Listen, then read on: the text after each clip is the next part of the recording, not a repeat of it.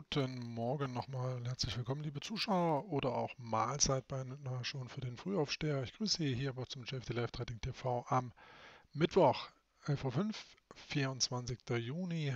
24. Juni und wir wollen natürlich auf den DAX schauen, der sich hier so ein Stück weit eine Verschnaufpause gönnt nach der ja, starken Erholungsbewegung, nach dem starken Erholungsimpuls. Und wir reden ja hier dann doch schon über mehr als 700 Punkte seit der letzten Woche kann sich der DAX doch auch ruhig mal eine Pause gönnen. Und das ist heute, wie gesagt, eine anzunehmende Variante, dass wir hier jetzt in Anführungszeichen seitwärts laufen.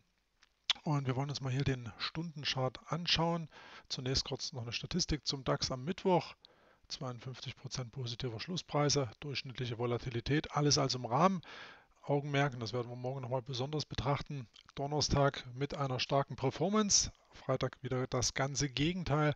Also grundsätzlich hier sicherlich nicht mal uninteressant, was noch passieren könnte. Aber heute so ein Stück weit Tau ziehen und nachdem wir uns ja gestern hier über dem Level von 11.520 Punkten etabliert haben, war auch die Annahme, dass wir ein Stück weiter uns hochschrauben können. Knapp über 11.600 war dann aber Schluss. Der Markt setzte im Nachmittagsverlauf zurück und Sie sehen, seither läuft der Markt seitwärts. Es ist dennoch anzunehmen, dass wir noch nicht das Tagestief gesehen haben. Der DAX scheint mir hier vielmehr das Potenzial aufzuweisen, hier diese Trendlinie nochmal ein Stück weit tiefer sacken zu können in Richtung 11.400, um dann wieder aufzudrehen. Das wäre das präferierte Szenario. Für leichten Support oder für leichten Halt kann man auch hier, wenngleich das von der Zeitzone her etwas beschränkt scheint. Wir gehen mal hier drauf. Das waren ja abendliche Nachtkurse vom 22.06., die hier so eine leichte Unterstützung aufweisen. US-Handel, also als signifikante Unterstützung möchte ich das nicht bezeichnen, aber es ist zumindest eine in dem Kontext dieser unteren Aufwärtstrendlinie eine Möglichkeit, wo der DAX hier einen Halt finden könnte. Sofern er weiter zurücksetzt, und das, wie gesagt, ist durchaus die präferierte Annahme, leichte Schwäche nicht auszuschließen. Gehen wir allerdings unter 11.400 zurück, dann muss man hier nochmal kräftigere Abgaben in Richtung 11.230 rund erwarten. Das wäre dann das ausgedehnte Szenario, was jetzt hier noch nicht die Bären irgendwo hervorlockt im Großartigen, sondern einfach nur hier eine größere Verschnaufpause darstellt. Aber rein vom technischen Ansatz her wäre hier bei 11.400 ja, 30 Punkten im Prinzip für heute der Genüge getan der Korrekturbewegung. Wir sehen auch gleich warum. Wir schauen nämlich gleich nochmal auf den MetaTrader 4 Chart.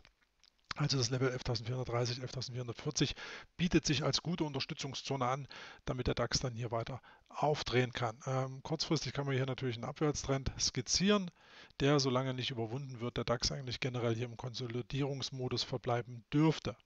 Aber die Aussichten, wie gesagt, dass der DAX hier in Bälde weiter anzieht, sind mal nicht schlecht. Wir haben ja schließlich, und das switchen wir mal kurz auf den Tageschart, einen Ausbruch aus dem großen Abwärtstrend Kanal vollzogen.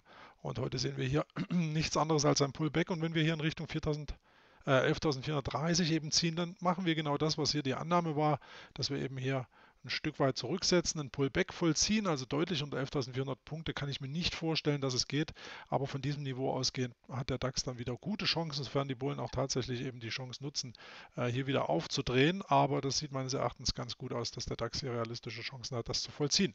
Das Level 11.350, 11.400 Punkte bleibt also hier eine interessante Zone.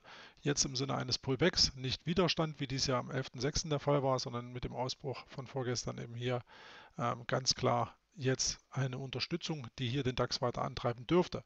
Rein von der Saisonalität her haben wir hier einen relativ rangigen Markt zu erwarten mit Blick auf die 40 Handelstage der Zukunft ähm, im Blick ähm, oder rückblickend auf die letzten 15 Jahre praktisch eine Seitwärtsbewegung hier beim DAX, also großartige Impulse rein saisonal nicht zu erwarten, aber rein technisch sieht das schon gut aus, wenn wir hier diesen Ausbruch eben manifestieren können, dann äh, spricht viel dafür, dass der DAX doch nochmal Richtung 12.000 Punkte und möglicherweise mehr anzieht. Das wie gesagt hier kurz zur DAX-Beschau an dieser Stelle.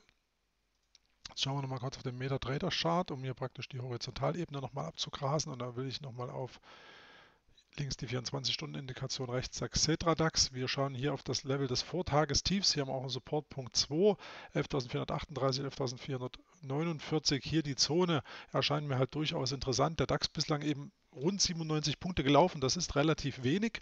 Ähm, das heißt, wir haben hier eine durchschnittliche Range von knapp 250 Punkte. Das heißt, ja, man muss hier durchaus noch mit einem Move von 150 Punkten rechnen. Man kann diesen Move einkalkulieren, aber wenn es eben ein Range Day wird, ein Seitwärtstag, dann ist es auch nicht verkehrt, dass wir hier so zwischen 11.450, 11.430 und eben den heutigen Tageshochs der Morgensession unterhalb von 11.600 Punkten so ein Stück weit verweilen.